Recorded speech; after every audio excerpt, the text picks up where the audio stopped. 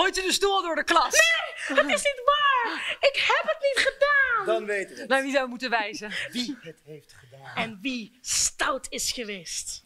Ja, die van het sterrenhuis, die heeft het gedaan. Het juryrapport raakt me omdat mijn poging gezien is.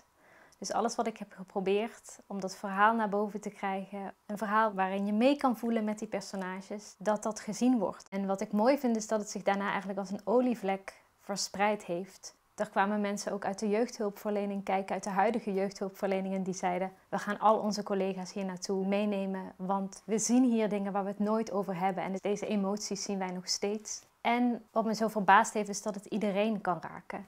Dus ook als je helemaal niet deze ervaringen hebt gehad, dan raakt het stuk denk ik aan een heel universeel gevoel, namelijk dat we allemaal gezien willen worden en we willen allemaal dat er van ons gehouden wordt.